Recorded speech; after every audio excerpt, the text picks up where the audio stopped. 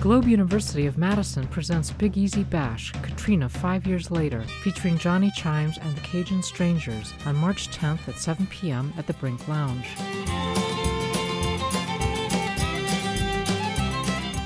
Chimes, a noted Bayou flavored blues and boogie woogie piano man, and Madison Treasure will be joined by Cajun Strangers, playing traditional Zydeco music. Their Cajun dance beat will bring bachelor Norwegian farmers to their feet to waltz, two step, and sing in French. Big Easy Bash on March 10th at 7 p.m. at the Brink Lounge will benefit Habitat for Humanity.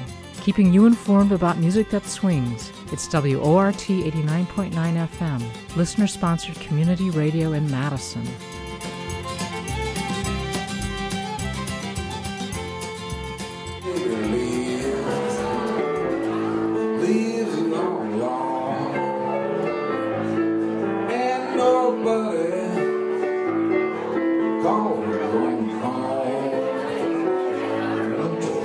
Like crying?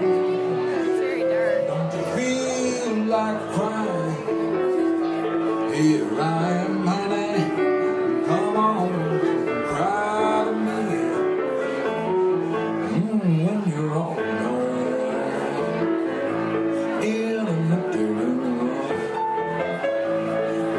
another man look the smell of her perfume.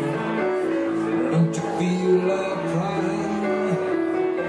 Don't you feel like crying? Here I am, honey I'm